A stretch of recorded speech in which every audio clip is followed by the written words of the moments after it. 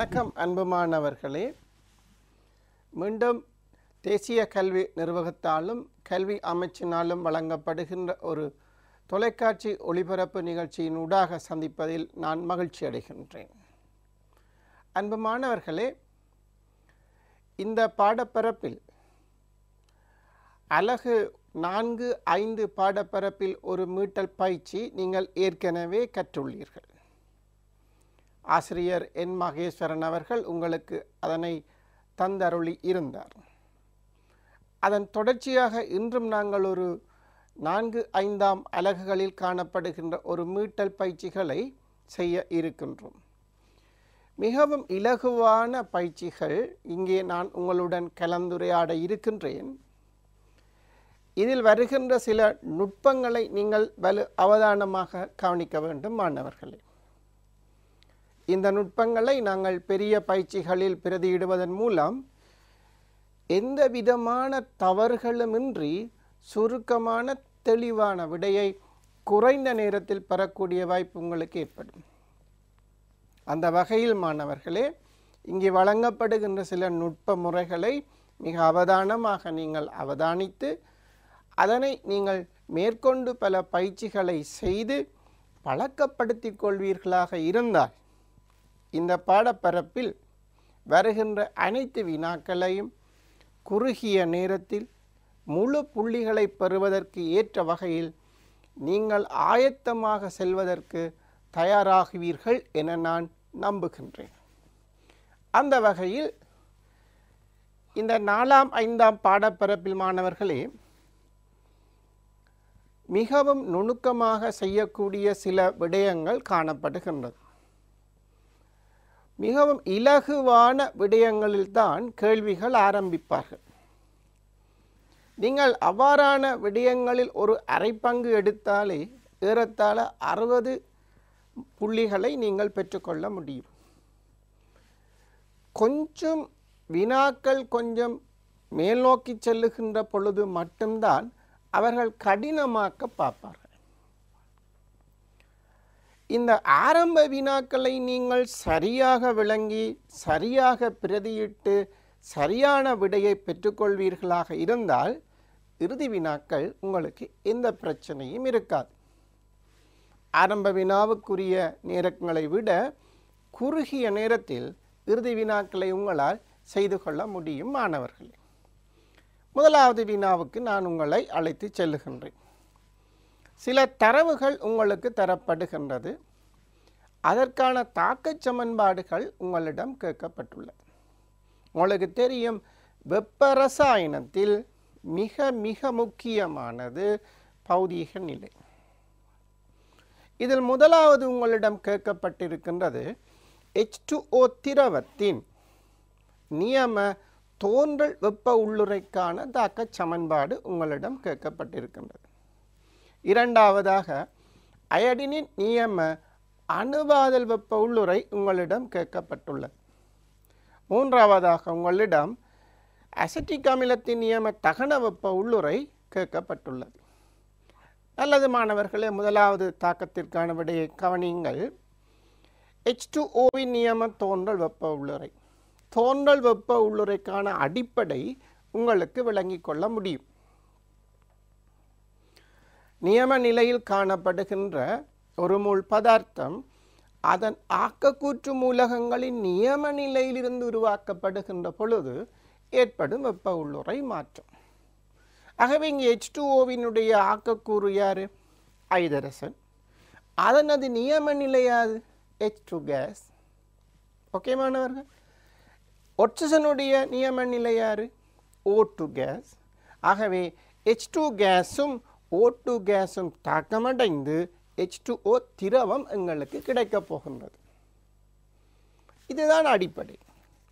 இனி எங்களுக்கு தெரியும் எங்களிடம் கேட்கப்பட்டது H2O திரவத்தின் தோன்றல் வெப்ப உள்ளுரை அது நிச்சயமாக ஒரு மூலாக காணப்பட வேண்டும்.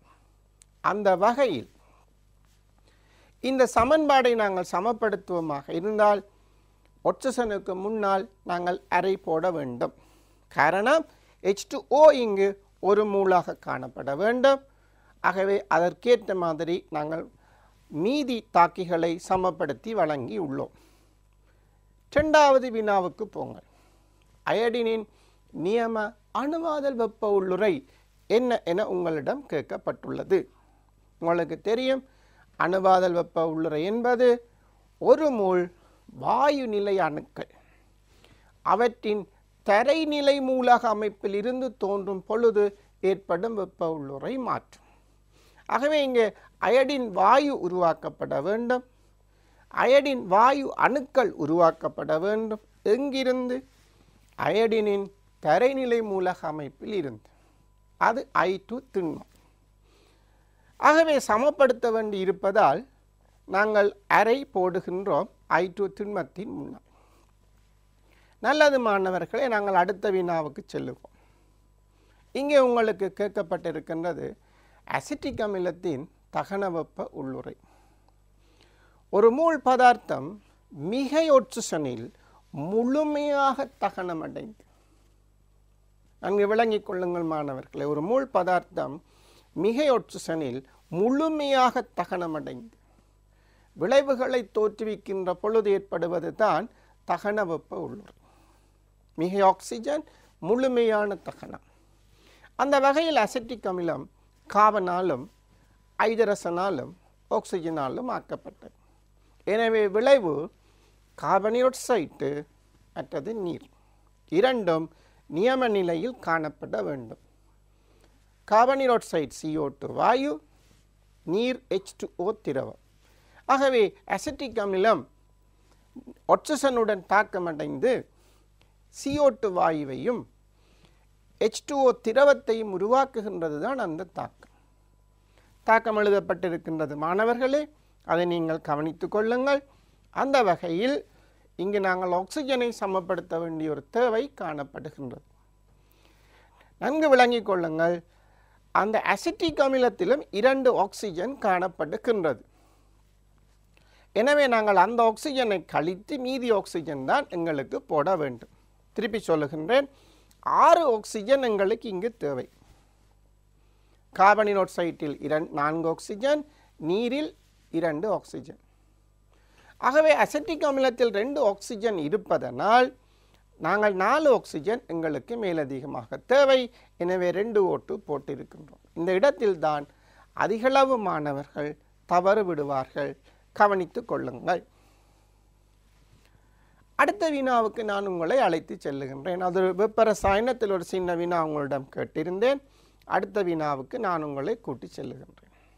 அல்லது மாணவர்கள் இது வாயு தொகுதியில் வருகின்ற முதலாவது வினா உங்களுக்கு ஒரு கொள்கலன் தரப்பட்டிருக்கின்றது. அதன் கனளவு அங்கே சொல்லப்பட்டிருக்கிறது. இருநூற்றி நாற்பத்தி ஒன்பது தசம் ரெண்டு நாலு ரெண்டு டெசிமீட்டர் கிணம் ஒரு மூடிய குடுவை. அதில் நாலு சென்டி மூல் ஆகன் வாயு காணப்படுகின்றது.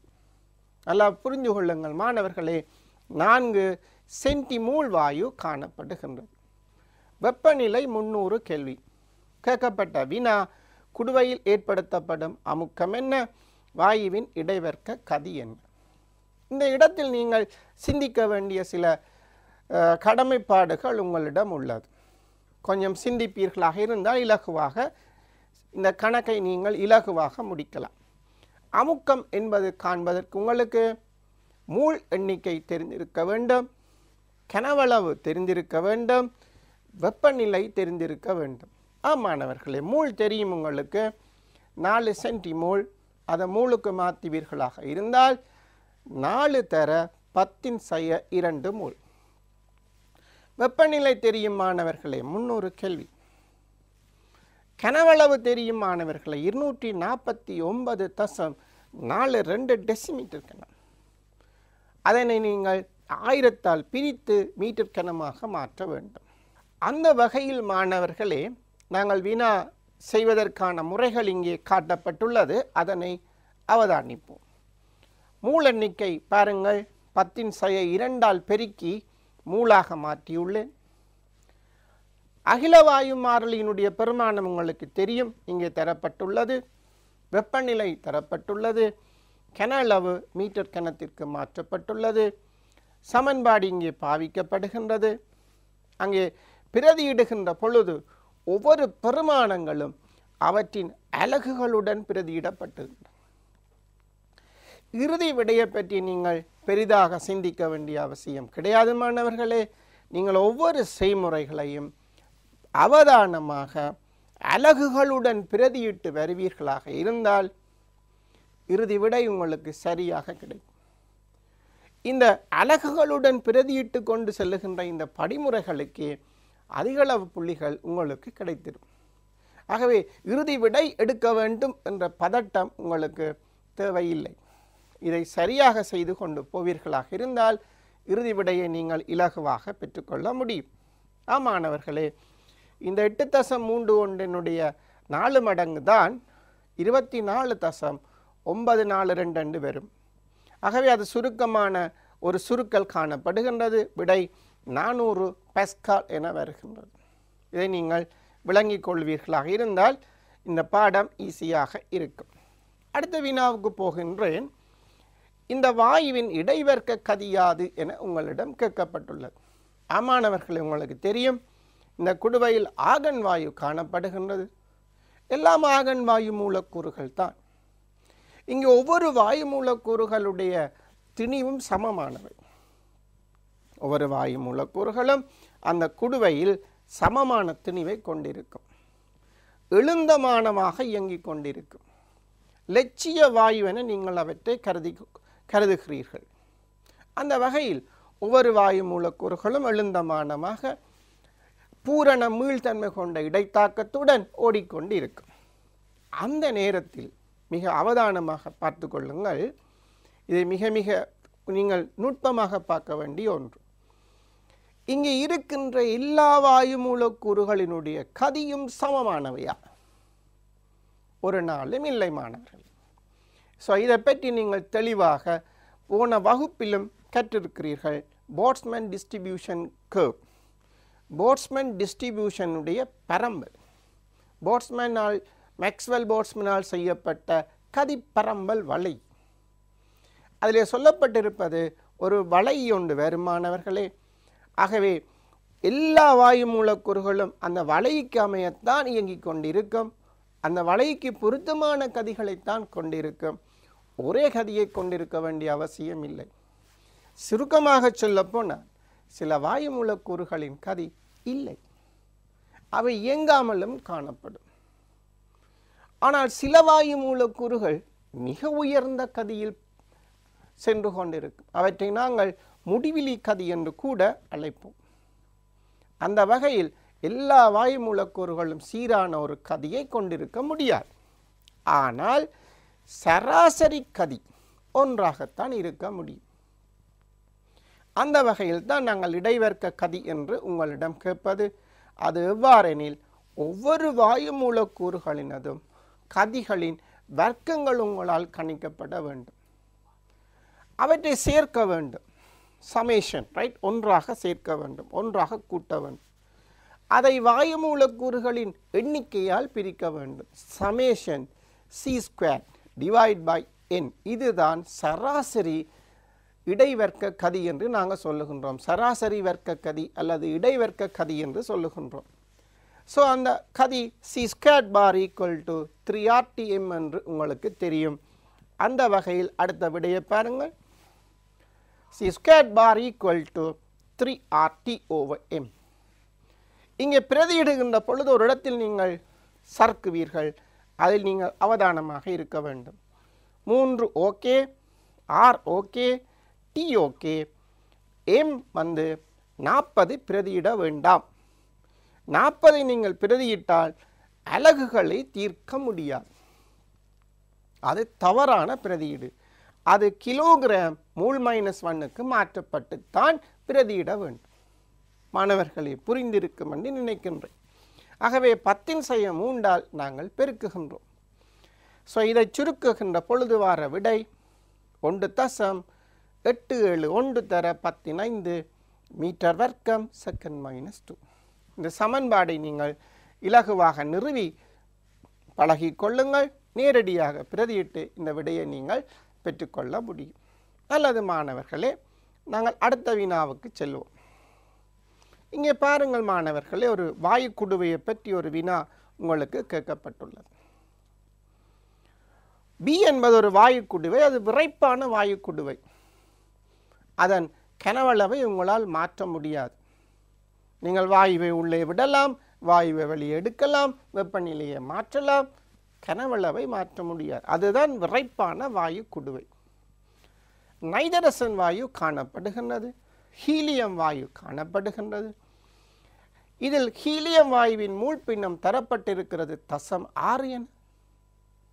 ஹீலியம் வாயுவின் மூழ்பின்னம் ஆகவே நீங்கள் நைஜரசன் வாயின் மூல் பின்னத்தை அதிலிருந்து கணிக்க முடியும். மொத்த அமுக்கம் தரப்பட்டிருக்கின்றது. ஆறு தர பத்தின் ஆறு பஸ்கா ஒரு பெரிய அமுக்கமாக அது காணப்படுகின்றது. இந்த வினாக்களை நீங்கள் பாருங்கள்.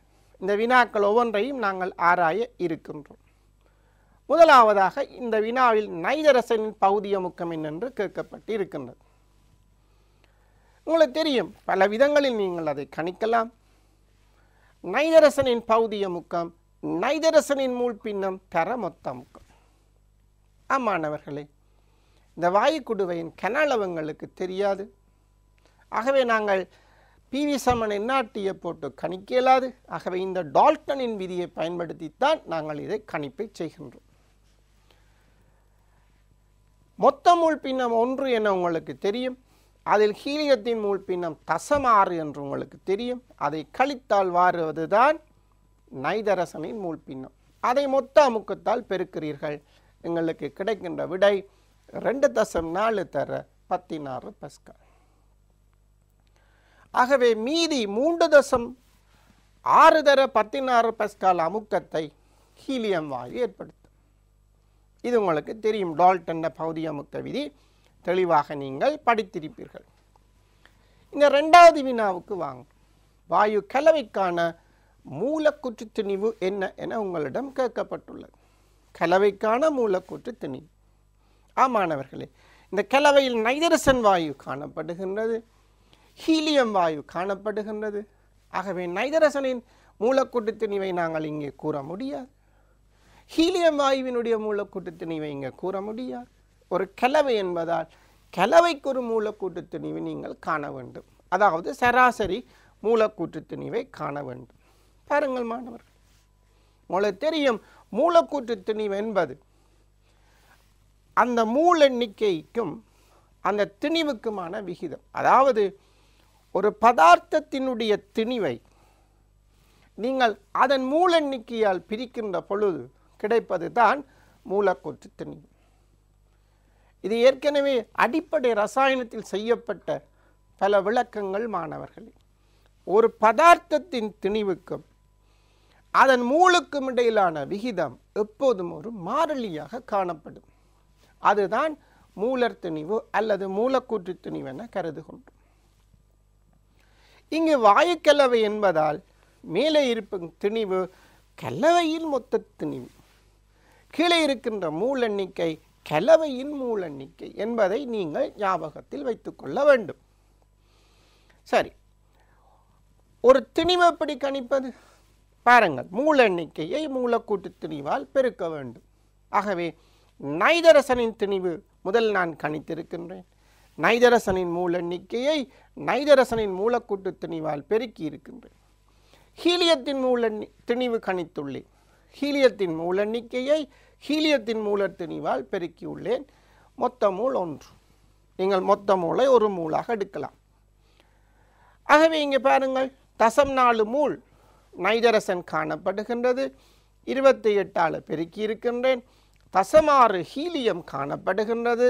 நான்கால் பெருக்கி இருக்கின்றேன் மொத்தம் ஒரு மூலன் எடுத்திருக்கின்றேன். கிடைக்கும் விடை பதிமூன்று தசம் ஆறு கிராம் மூல் மைனஸ் ஒன்.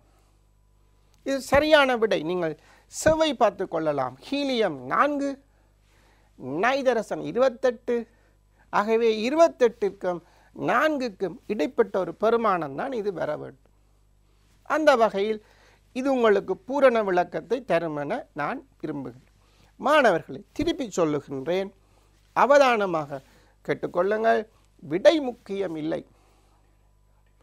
அந்த விடையெடுத்த வழிமுறையை நீங்கள் அவதானித்து கொள்ள வேண்டும். இந்த விடை உங்களுக்கு அவ்வளவு பெரிய பிரச்சனையாக இருக்கா? விடையில் ஒரு பெருமானம் பிழைத்தால் ஒரு சிறு பகுதி மார்க்ஸ் உங்களால் இழக்க வேண்டி நேரிடும். ஆனால் இந்த படிமுறையை நீங்கள் சரியாக விளங்கிக் கொள்வீர்களாக இருந்தால் பிழையின்றி திருத்தமாக உங்களால் செய்யக்கூடியதாக காணப்படும். அடுத்த வினாவுக்கு போவோம். இருபத்தைந்து பாகசி வாயுக்கலவையின் அடர்த்தியாது என்று கேட்டிருக்கு. அதாவது இந்த குடுவையின் வெப்பநிலை இருபத்தைந்து பாகசியாக இருக்கின்ற பொழுது இந்த கலவையின் அடர்த்தியாது. இது ஒரு கலவை ஞாபகத்தில் வச்சுக்கொள்ளுங்க. அந்த வினாவை நாங்கள் செய்ய போகின்றோம். உங்களுக்கு தெரியும். பிவி சமன் என்ஆர்டி என்ற சமன்பாட்டில் இருந்து எடுக்கப்பட்ட சமன்பாடு தான் டி சமன் பிஎம்ஓ ஆர்டி அடர்த்தி சமன் அமுக்கம் தர மூலர் திணிவின் கீழ் அகிலவாயு மாறலி தர வெப்பநிலை. அமுக்கம் மொத்த அமுக்கத்தை இங்கே நீங்கள் பிரயோகியுங்கள். அட சராசரி மூலக்கூட்டு திணிவை எம்முக்கு பதிலாக பிரயோகியுங்கள். அகிலவாயு மாறலி உங்களுக்கு தெரியும். வெப்பநிலை இருநூற்றி தொண்ணூற்றி எட்டு கேள்வின் தவறு விட வேண்டாம். இருபத்தைந்தை பாவித்து விடாதீர்கள். இருபத்தைந்து பாகை செய்யில் காணப்படுகின்றது. அது கெல்வினுக்கு மாற்றப்பட வேண்டும். இந்த விடைகளை நீங்கள் சரியாக அவதானித்திருப்பீர்கள் என்று நான் நினைக்கின்றேன். ஆகவே இவற்றை நீங்கள் சுருக்குகின்ற பொழுது உங்களுக்கு இந்த விடை கிடைக்கும். மூன்று தசம் ரெண்டு ஒன்பது நாலு தர பத்தி நாலு கிராம் மீட்டர் மைனஸ் த்ரீ அல்லது முப்பத்தி ரெண்டு தசம் ஒன்பது நாலு கிலோகிராம் மீட்டர் மைனஸ் த்ரீ இந்த படிமுறைகளை மிக அவதானமாக பாவித்துக் கொள்ளுங்கள் மாணவர்களே. நல்லது மாணவர்களே நான் அடுத்த வினாவுக்கு போகின்றேன். பாருங்கள். இந்த குடுவையின் கனளவு அவங்களுக்கு தரப்பட்டிருக்கின்றது. இப்போது நானூறு டெசிமீட்டர் கனம் என கூறுகிறார்கள். வெப்பநிலை தரப்பட்டுள்ளது. இருபத்தைந்து பாகசி என கூறுகிறார்கள். என்று வாயுவின் மூல் எண்ணிக்கை யாது? மொத்த மூல் கேட்கப்படவில்லை. மாணவர்களே இன்று வாயுவின் மூலெண்ணிக்கை யாது இதுதான் வினா. பல வழிகளில் நீங்கள் செய்யலாம். என்று வாயுவினுடைய பகுதி அமுக்கத்தை உங்களால் கணித்திருப்பீர்கள். அதை வைத்தும் செய்யலாம். அல்லது மொத்த இதை வைத்தும் மொத்த அமுக்கத்தை வைத்தும் உங்களால் செய்ய முடியும். இங்கே பாருங்கள். நான் இங்கே செய்திருக்கின்ற விடையை பாருங்கள். இங்கே பி என் சமன் பிவி சமன் என்னாட்டியில் போட்டு நாங்கள் கண்டிருக்கின்றோம் மொத்த மூல எண்ணிக்கை முன்னூற்றி எண்பத்தேழு தசம் நாலு ஏழு ஆறு என வருகின்றது.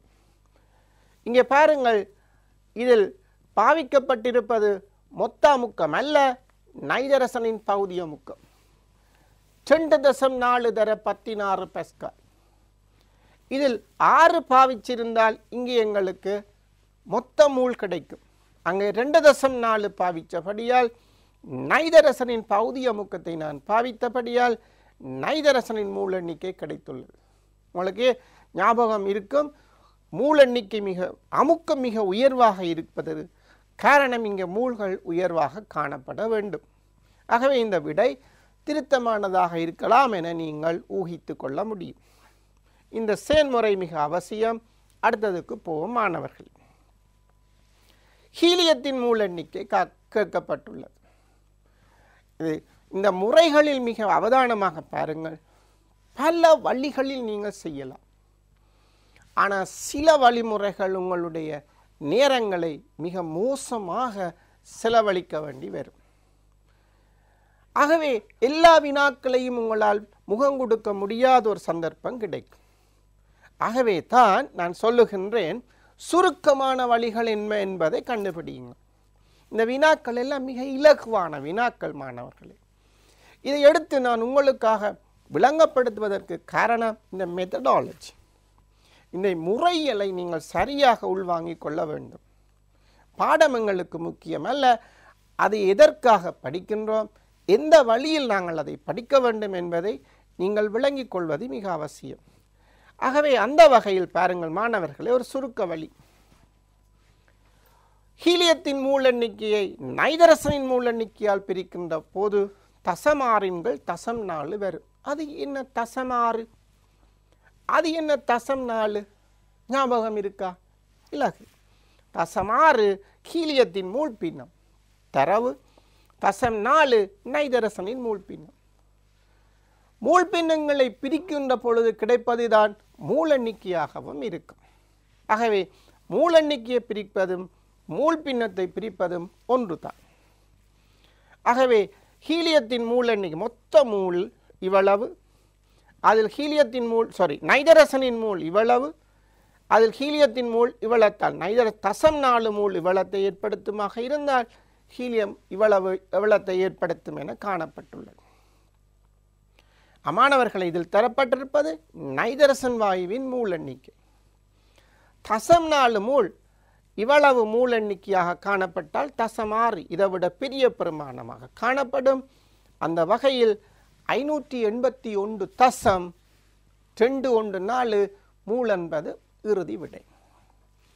நல்லது மாணவர்களே அடுத்த விடைக்கு நாங்கள் போவதற்கு இருக்கின்றோம். பாருங்கள்.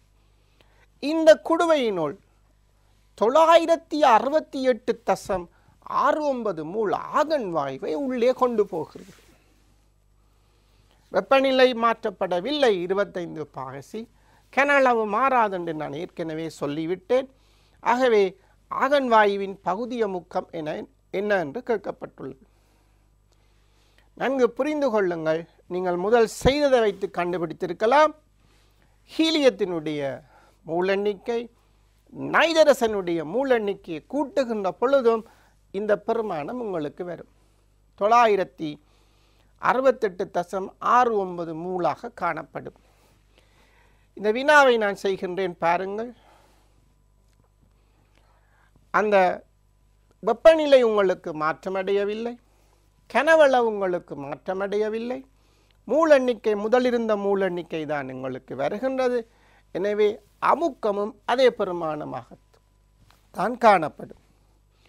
அந்த வகையில் ஆதன் வாயுவின் அமுக்கம் ஆறு தர மொத்த அமுக்கம் அதை இரண்டால் நீங்கள் பெருக்க வேண்டும்.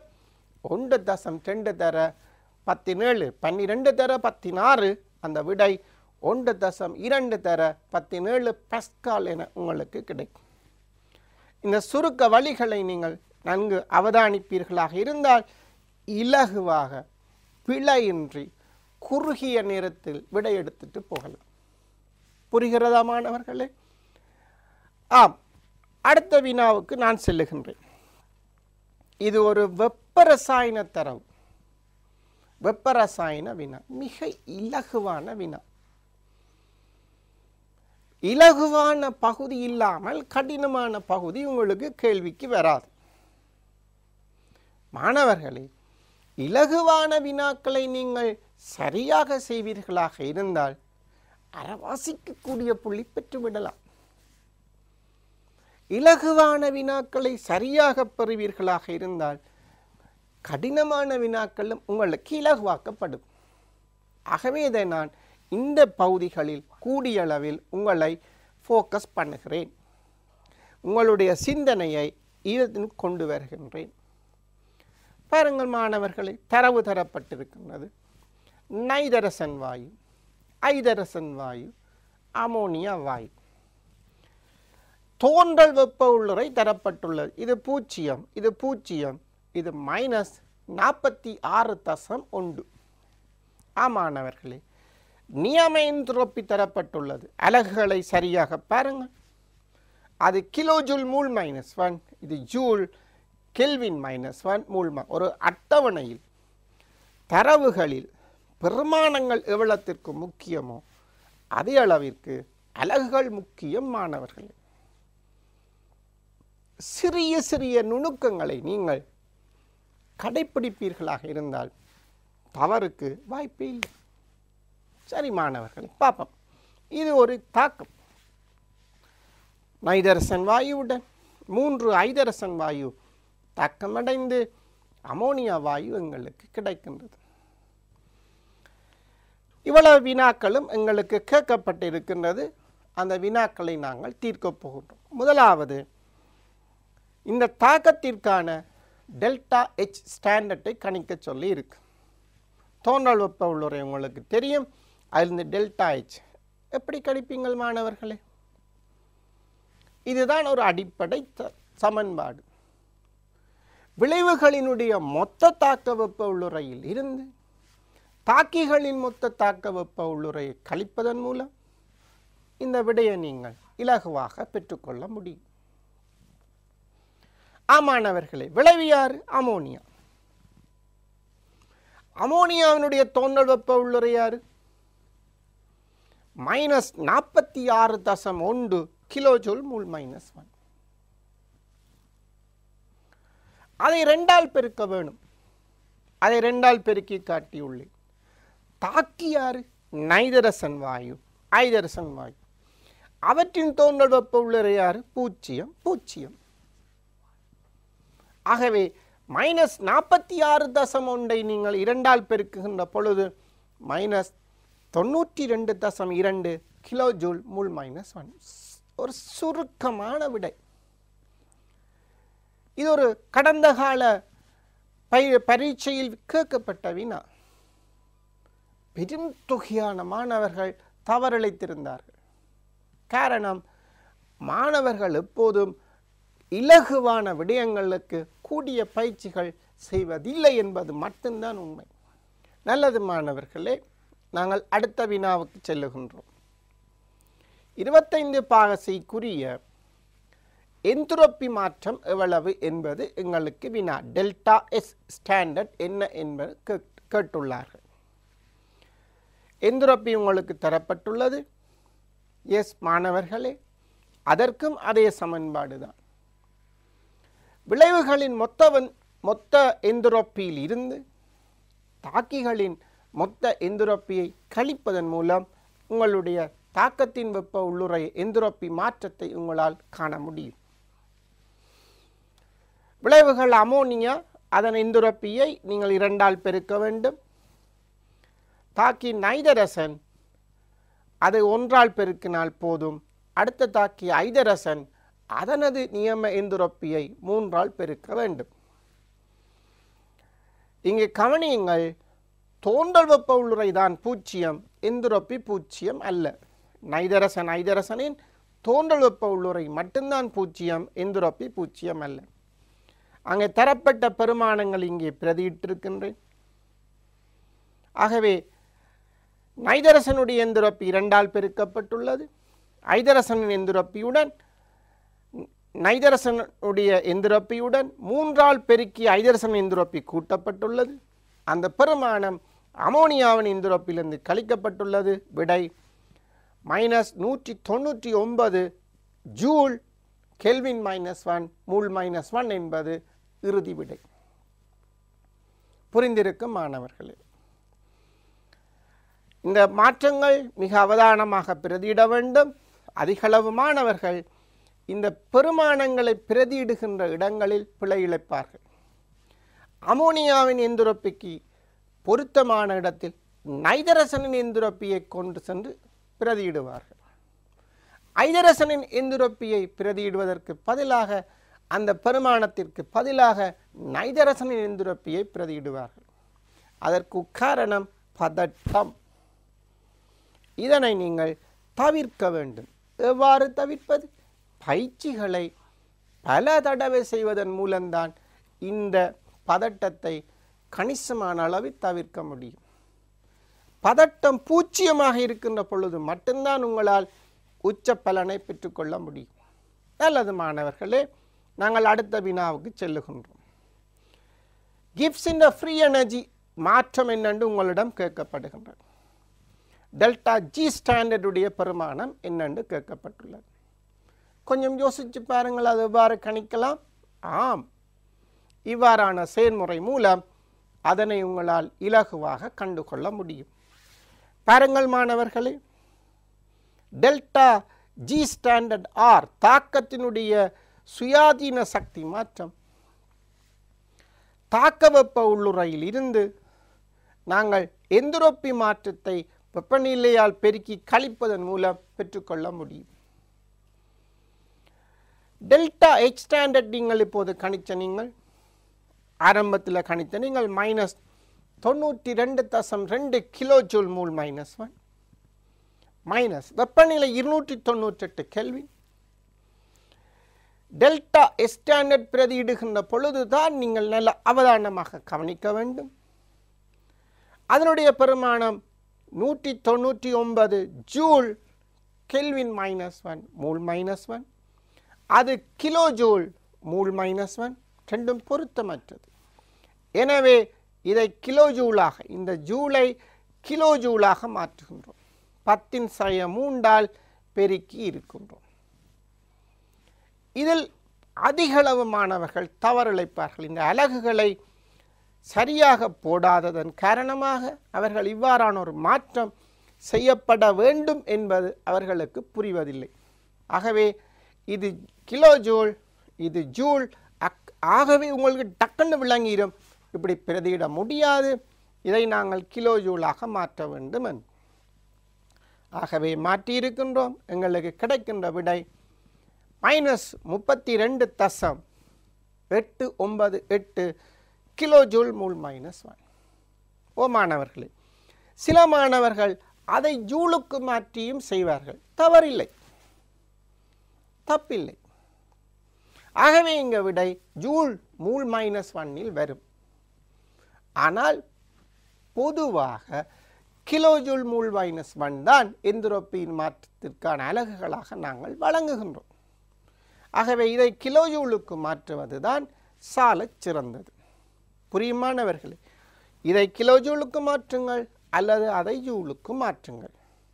தவறு விட வேண்டாம் மாணவர்களே. இதை நீங்கள் கேட்டு இந்த தவறை நீங்கள் தவிர்க்கலாம் என்பது பொய். நீங்கள் பல கணக்குகளை பல பயிற்சிகளை செய்து பாருங்கள். இவ்வாறான பயிற்சிகளை அதன் மூலம்தான் இந்த தவறை உங்களால் தவிர்க்க முடியும். நல்லது மாணவர்கள். தாக்கத்தின் சுயாதீனம் பற்றி என்ன குறிப்பிட இருக்கிறீர்கள்? இது சின்ன வினா உங்களுக்கு தெரியும் டெல்டா ஜி பெருமானம். சுயாதீன சக்தி மாற்றம். பூச்சியத்துக்கு வருமாக இருந்தால் தாக்கம் சமநிலை தாக்கம். அது பிளஸில் இருக்குமாக இருந்தால் தாக்கிகள் தான் மோ ஃபேவரேட். ஆகவே அங்கு தாக்கம் நடக்கிறதுக்கான வாய்ப்பு இல்லை அந்த சுயாதீன சக்தி மாற்றம் மைனஸாக இருந்தால் அங்கு விளைவுகள் தான் கூட காணப்படும். விளைவுகள் தான் மோ ஃபேவரேட் ஆகவே தாக்கம் நடப்பதற்கான வாய்ப்பு மிக அதிகம். இதில் ஒரு விடயத்தை நீங்கள் அவதானமாக கவனிக்க வேண்டும். இந்த டெல்டா ஜி பெருமானம் நெகட்டிவாக இருந்தால் மறைப்பெருமானமாக இருந்தால் தாக்கம் சுயமாக நடக்கும் அது சிறிய மறைப்பெருமானமாக இருந்தால் தாக்கம் மெதுவாக நடக்கும். அது பிரிய மறைப்பெருமானமாக இருந்தால் தாக்கம் விரைவாக நடக்கும். குறிப்பாக அமிலகார தாக்கம் அதாவது நடுநிலையாக்கள் தாக்கத்தை கருதுங்கள். அந்த நடுநிலையாக்கள் தாக்கத்துக்குரிய டெல்டா ஜி பெருமானம் மிகப்பெரிய பெருமானம். ஆகவே தாக்கம் மிக வேகமாக நடக்கும். உங்களுக்கு புரியக்கூடிய மாதிரி சொல்வதாக இருந்தால் H plus aqueous OH minus எக்குவஸை சந்தித்த உடனே அது ஹெச் ஓ திரவமாக மாறிவிடும். அவ்வளத்திற்கு அந்த டெல்டா ஜி பெருமானம் உயர் நெகட்டிவ் வேல்யூ ஞாபகம் வைத்துக் கொள்ளுங்கள். உங்களுக்கு ஒரு சிறிதளவு ஒரு விளக்கத்திற்காக அந்த தரவை நான் உங்களுக்காக தந்திருந்தேன். பாருங்கள். இத்தாக்கம் நியம நிலையில் ஒரு ஏடிஎம் இருபத்தைந்து பாகசியில் சுயமாக நிகழும் குறைந்த கதியில். அது உங்களுக்கு சொல்ல வேண்டும் என்ற அவசியம் இல்லை. சொன்னால் தவறு இல்லை. காரணம் குறிப்பிடப்பட வேண்டும். உய்தறிக என கேட்கப்பட்டிருந்தால் காரணம் குறிப்பிடப்பட வேண்டும். சுயாதீன சக்தி மாற்றம் டெல்டா ஜி ஆர் ஸ்டாண்டர்ட் பெருமானம் எதிர் அல்லது மறைப்பெருமானம் கொண்டது.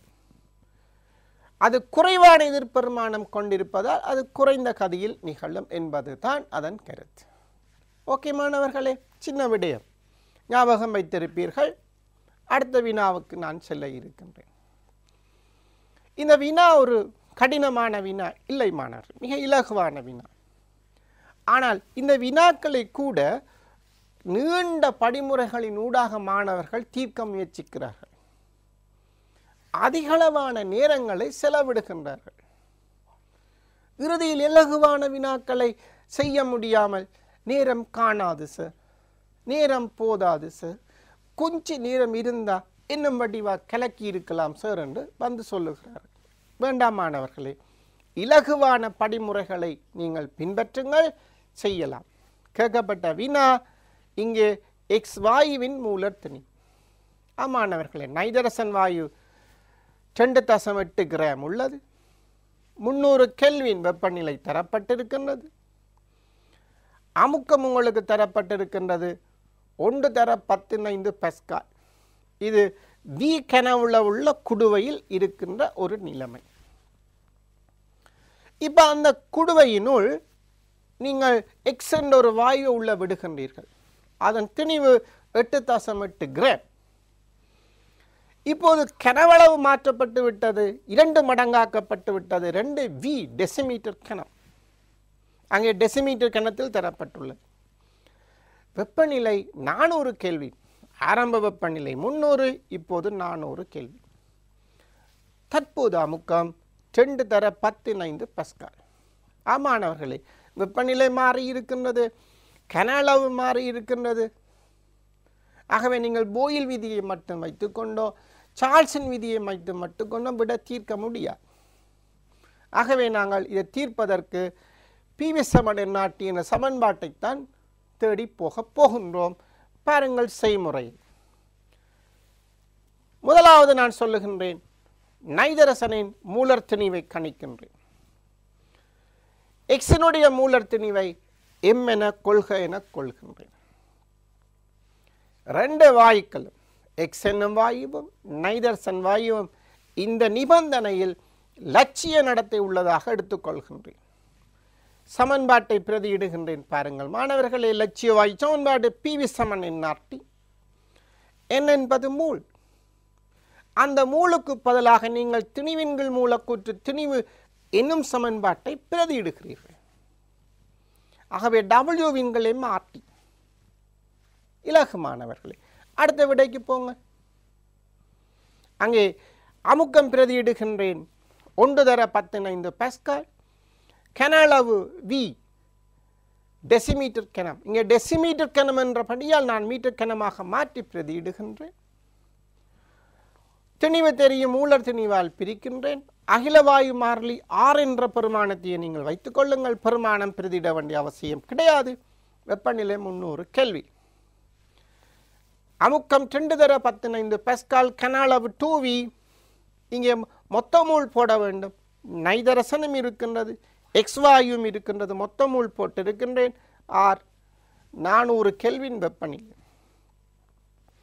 இங்கே பி சமன்பாட்டை ஏ சமன்பாட்டால் பிரித்திருக்கின்றேன். உங்களுக்கு கிடைக்கின்ற விடை நாற்பத்தி நாலு கிராம் மூல் மைனஸ் ஒன் என்பது ஒரு இலகுவான விடை. நாற்பத்தி நாலு கிராம் மூல் மைனஸ் ஒன் சுருக்கமான தீர்வு மாணவர்களே இங்கே அமுக்கம் ரெண்டு மடங்கு கன அளவு ரெண்டு மடங்கு அப்போ மேலே நான்கு வரும். இந்த நாளும் அந்த நாளும் வெட்டுப்படும். குறுக்கு நீங்கள் பெருக்கி எடுப்பீர்களாக இருந்தால் சரியான விடை நாற்பத்தி நாலு கிராம் மூல் மைனஸ் ஒன் மாணவர்களே இதில் விடை முக்கியம் இல்லை. பல வழிகளினூடாக செய்து இந்த விடையை நீங்கள் பெற முடியும். மீண்டும் சொல்லுகிறேன் சுருக்கமான வழிமுறைகளை யார் தெரிவு செய்கிறீர்களோ அவர்கள்தான் திறமையான மாணவர்கள். வெற்றியை நுகரப்போகின்ற மாணவர்கள். ஆகவே சுருக்கமான வழிகளை கண்டுபிடித்து அதனூடாக முயற்சி செய்யும் இதை காட்டிலும் சுருக்கமாக செய்யக்கூடிய முறைகளும் காணப்படுகின்றது மாணவர்களே. அவற்றை நீங்கள் தயவு செய்து பிரதியிட்டு பிரதியிட்டு செய்து பாருங்கள். மீண்டும் சொல்லுகின்றேன் ஆறு ரெண்டு இடமும் ஒரே பெருமானம் என்பதால் நீங்கள் ஆற்றில் பிரதியிட்டு நேரத்தை செலவழிக்க வேண்டாம். நீங்கள் ஆர் போட்டுக்கொள்ள முடியும். உங்களுக்கு ஐடியா தெரியும் தானே? ரெண்டு சமன்பாட்டையும் நான் பிரிக்கப் போகின்றேன். அப்போ ஆறு மாறும் வெட்டுப்படும். ஆகவே நாங்கள் பிரச்சனை கிடையாது. சில மாணவர்கள் இலகுவாக இதை முதலாவது ஒன்று தர பத்தினைந்து பஸ்காலை பி பஸ்கால் என்றும் ரெண்டு தர பத்தினைந்து பஸ்காலை டூ பி பஸ்கால் என்று போட்டும் இன்னும் இலகுவாக இந்த விடையை செய்ய முடியும். அந்த விடையும் ஏற்றுக்கொள்ளப்படும். நீங்கள் அதிக அளவான படிமுறைகளை எழுதினால்தான் புள்ளிகள் வழங்கப்படும் என்பது இல்லை. சரியான தர்க்கமான கணித முறைகள் அங்கே காட்டப்பட்டிருக்குமாக இருந்தால் நிச்சயம் ஏற்றுக்கொள்ளப்படும். எல்லா ஆசிரியர்களும் அதை வரவேற்பார்கள். அவ்வாறான விடைகளுக்கு புள்ளிகள் வழங்கப்படும் பூரண புள்ளிகள் கிடைக்கும். ஆகவே சரியான முறையில் நீங்கள் உங்கள் ஆனால் மனதில் நினைப்பதை அங்கள் எழுதி காட்டுங்கள். தனியே மனதால் மட்டும் கணக்கை செய்து விடையெடுத்து போவீர்களா? இருந்தால் சில நேரம் புள்ளிகள் உங்களுக்கு கிடைக்க மாட்டாது. நல்லது மாணவர்களே அடுத்த வினாவுக்கு நுழைகின்றேன். ஒரு பிளாத்திக் கிண்ணம் இருக்கின்றது. அப்படி என்று சொன்னால் அங்கே தாக்கம் நடக்கின்ற பொழுது அதிகள வெப்பம் வெளியே போகாது உள்ளே வராது என்பது தான் அதன் கருத்து. ஒரு வெப்ப காவலி குடுவை மாதிரி நீங்கள் அதை கருதி கொள்ள முடியும். ஹைட்ரோக்ளோரிக் அமிலம் அதில் எடுக்கப்பட்டுள்ளது. மூன்று மூல் டிஎம் மைனஸ் த்ரீ இருபத்தைந்து சென்டிமீட்டர் கணம். அதனுள் சோடியம் கார்பனேட் திண்மம் சேர்க்கிறீர்கள். ஞாபகம் வைத்துக் கொள்ளுங்கள். சோடியம் கார்பனேட் திண்மம் சேர்க்கிறீர்கள். தசம் சைவர் ரெண்டு ஐந்து மூல். நன்கு தாக்கம் நடக்கின்றது? வெப்பநிலை எட்டு பாக சீயால் உயர்வடைகின்றது.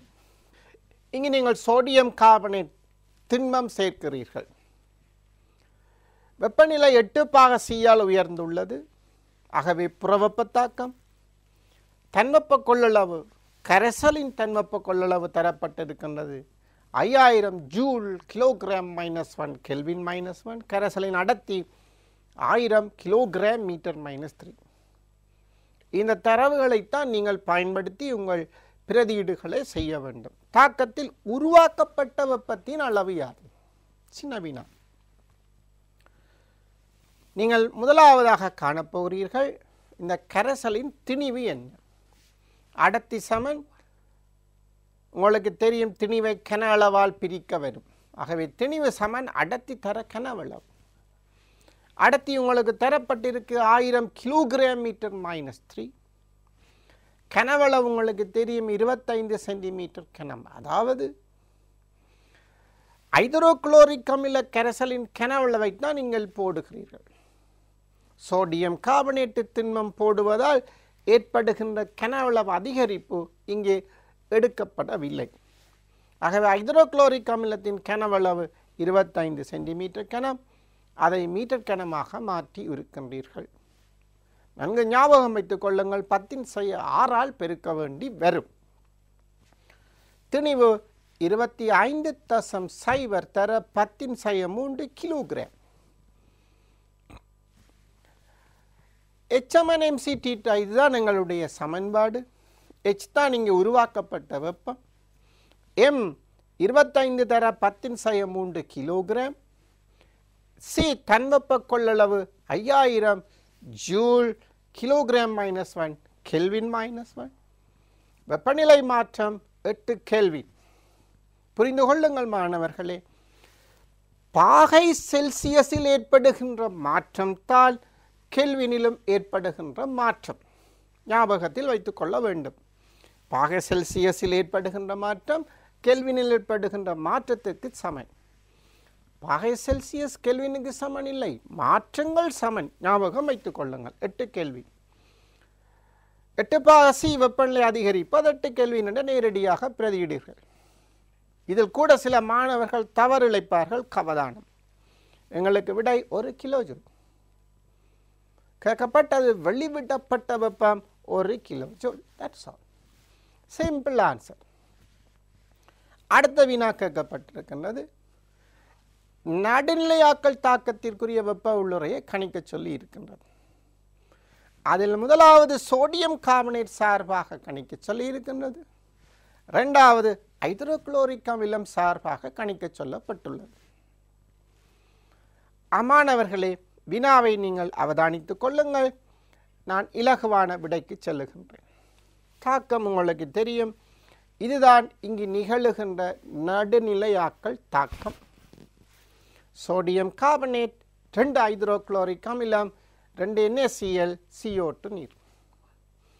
இந்த அட்டவணையை கொஞ்சம் அவதானியுங்கள். சேர்வை சேர்க்கப்பட்ட அளவு தாக்கமடையும் அளவு மீதி. சோடியம் கார்பனேட் தசம் சைவர் ரெண்டு ஐந்து. அது முழுமையாக தாக்கம் அடையும் தசம் சைவர் ரெண்டு ஐந்து மூல் மீதி இருக்கின்றார் ஐதரோக்ளோரிக் அமிலம் தசம் சைவர் ஏழு ஐந்து மூல் நீங்கள் சேர்த்திருக்கிறீர்கள். ஞாபகம் பாருங்க மாறு. மூன்று மூல் டிஎம் மைனஸ் த்ரீ இருபத்தைந்து சென்டிமீட்டர் கிணம். அந்த வகையில் அந்த விட வரும் அதனுடைய தாக்கம் அடைகின்ற மூல் அவ்வளவும் தாக்கம் அடையாது இந்த சோடியம் கார்பனேட்டின் இரு மடங்கு. தசம் சைவர் ஐந்து மூல் மட்டும்தான் தாக்கம் அடையும் த- எடுக்கப்பட்ட முழு ஹைட்ரோக்ளோரிக் அமிலமும் தாக்கத்தில் பங்கெடுக்காது ஞாபகத்தில் வைத்துக்கொள்ளும். தசம் சைவர் ரெண்டு ஐந்து மூல் ஹைட்ரோக்ளோரிக் அமிலம் மீதமாக காணப்படும். இது உங்களுடைய கணிப்பில் காட்டப்பட்டிருக்க வேண்டும். இதை கடி காட்டுவீர்களாக இருந்தால் இந்த விடை சுகம். பாருங்கள் சோடியம் காவனி ஒரு கிலோ ஜூல் வெப்பம் வெளிவிடப்பட்டது. எப்போது? தசம் சைவர் ரெண்டு ஐந்து மூல் சோடியம் கார்பனேட் தாக்கமடையும் பொழுது. ஆகவே ஒரு மூலுக்கு எவ்வளவு என்று கணிக்கின்ற பொழுது விடை மைனஸ் நாற்பது kilo joule mole minus one என வரும். இங்கே ஒரு கிலோ ஜூல் வெளிவிடப்பட்டது எவ்வளவு? தசம் சைவர் ஐந்து மூல் தாக்கம் அடைகின்ற பொழுது. அதற்கான விடை மைனஸ் இருபது kilo joule mole minus one வரும். ஒரு மூல் சோடியம் கார்பனேட்டுக்கு நாற்பது இது. இதில் மிக அவசியம் வெப்ப உள்ளுரை மாற்றம் என்பதால் மைனஸ் காட்டப்பட வேண்டும். மறந்துவிட வேண்டாம் மாணவர்களே. அடுத்த வினாவுக்கு பாருங்கள். இங்கே நீங்கள் மேற்கொண்ட எடுகோள்கள் என்ன என்பது உங்களுக்கு கேட்கப்பட்டுள்ள வினா இந்த கணிப்பில் நீங்கள் என்ன எடுகோள்களை மேற்கொண்டுள்ளீர்கள்? ஆமாணவர்களே இங்கே பாருங்க. சூழலுக்கு வெப்ப இழப்பு நாங்கள் நிகழவில்லை என்று எடுக்கின்றோம். சோடியம் கார்பனேட் திண்ணம் சேர்ப்பதால் கனவளவில் மாற்றம் ஏற்படவில்லை என எடுத்துக்கொள்கின்றோம். தாக்கத்தில் உருவாகிய வெப்பம் முழுவதும் கரைசல் மட்டுமே பெற்றுக்கொள்ளப்பட்டது என்று எடுத்துக்கொள்கின்றோம். சோடியம் கார்பனேட்டின் கரைசலாதல் வெப்ப உள்ளுரை புறக்கணிக்கப்பட்டுள்ளது.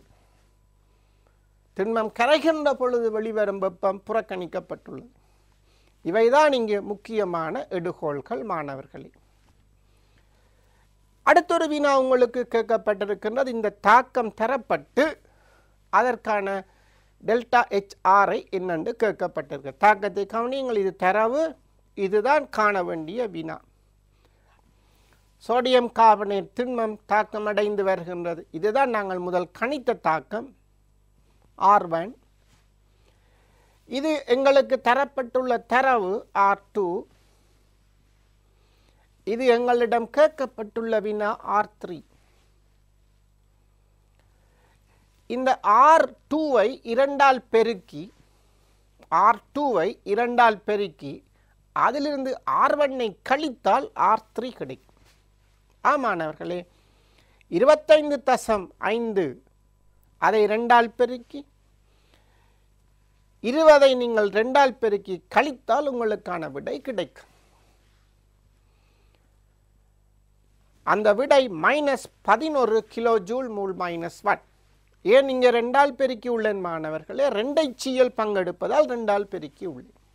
நல்லது மாணவர்களே இந்த வழிமுறையை பின்பற்றியும் நீங்கள் கணிக்க முடியும். இது தரவு இது நீங்கள் கணித்த பெருமானம் அந்த விடையும் உங்களுக்கு மைனஸ் பதினோரு kilo joule mole minus one சில செல்ஃப் ப்ராக்டிஸ் உங்களுக்கு தந்திருக்கின்றேன் மாணவர்களே. இதைவிட நிறைய பயிற்சிகள் அங்கே காணப்படுகின்றது இதை மார்க் பண்ணிக்கொள்ளுங்கள் குறித்து வைத்துக் கொள்ளுங்கள். முதலில் இந்த பயிற்சிகளை நீங்கள் செய்யுங்கள். ஏனென்றால் இங்கு சொல்லப்பட்டுள்ள பயிற்சிகளும் நான் உங்களுக்கு ஒப்புவித்த பயிற்சிகளும் ஏறத்தாழ ஒரே மாதிரியானவை. சமமானவை என்று கூட கூறலாம். ஆகவே இந்த பயிற்சிகளை முதலில் நீங்கள் இன்றே செய்து பாருங்கள். நேர முகாமை மிக அவசியம். இதை தொடர்ந்து நீங்கள் அடுத்தடுத்த பயிற்சிகளை மேற்கொள்வீர்களாக இருந்தால் நிச்சயம் உங்களுக்கு வெற்றி. கடந்த காலங்களில் உங்களுக்கு வினாவப்பட்டுள்ள வினாக்களை சரியாக விளங்கி பொருத்தமான பயிற்சிகளை பொருத்தமான காலத்தினுள் செய்வதற்கான பயிற்சிகளை. மிக அவசியம் அதுதான். பிழையின்றி செய்வதற்கான பயிற்சிகளை. எடுப்பீர்களாக இருந்தால் நிச்சயம் உங்கள் பக்கம் வெற்றி. இதில் எந்த விதமான ஐயமில்லை. திருப்பி திருப்பி மீண்டும் சொல்லுகின்ற விளக்கம் இதுதான். ஒரு தடவை ஒரு கணக்கை செய்கின்ற பொழுது இரண்டு மூன்று த இடங்களில் தவறு வரும். அதே கணக்கை நீங்கள் செய்கின்ற பொழுது அந்த தவறு குறைக்கப்படும். மூன்றாவது தடவை நீங்கள் செய்கின்ற பொழுது தவறு இல்லாமல் செய்வீர்கள். நான்கு தவறு இல்லாமல் செய்வீர்கள். ஆகவே மூன்றாவது தடவை தான் உங்களால் தவறுகளை பூச்சியமாக்கப்படுகின்றது இழிவளவாக்கப்படுகின்றது. ஆகவே அந்த மூன்று தடவைகள் அதற்கு முதல் செய்த அந்த இரண்டு தடவைகள் தான் முக்கியமானது. நீங்கள் பரீட்சை மண்டபத்தில் சென்று அந்த வினாவை முதலாவது தடவையாக செய்ய முற்படுகின்ற பொழுது தான் உங்களுக்கு பிரச்சனைகள் வருகின்றது. ஆகவே தான் நான் சொல்லுகின்றேன் இதை நீங்கள் மீண்டும் மீண்டும் செய்து பாருங்கள். முதலாவது தடவையில் இரண்டு இடங்களில் தவறுகள் வந்தால் அடுத்த முறை அது குறைக்கப்படும். அந்த வகையில் உங்களுக்கு நிச்சயம் இதில் அதிக மார்க்ஸ் வேணுமாக இருந்தால் நான் சொல்லும் வழிமுறைகளை தயவு செய்து பின்பற்றுங்கள். இதுதான் உங்களுக்கு நான் சொல்லக்கூடிய சுருக்கமான வழி. நல்லது மாணவர்களே மீண்டும் ஒரு முறை இன்னொரு வகுப்பில் உங்களை நான் சந்திக்கின்றேன். இந்த வகுப்பில் மகிழ்ச்சியாக இருந்திருப்பீர்கள். நானும் மகிழ்ச்சியாக இருந்திருக்கின்றேன். மீண்டும் அடுத்த வகுப்பில் சந்திப்போம். வணக்கம் மாணவர்கள்